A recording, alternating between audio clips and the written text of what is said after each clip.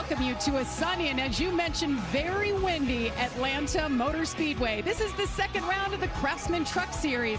It is the Fr8Auctions 208.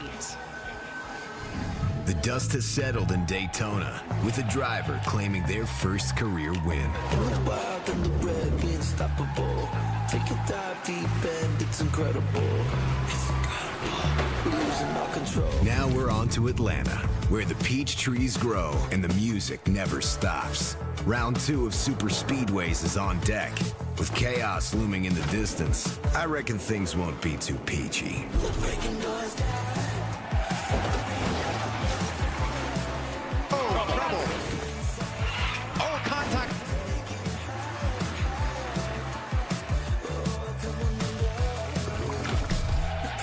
This is Atlanta on FS1. Well, if that doesn't get you fired up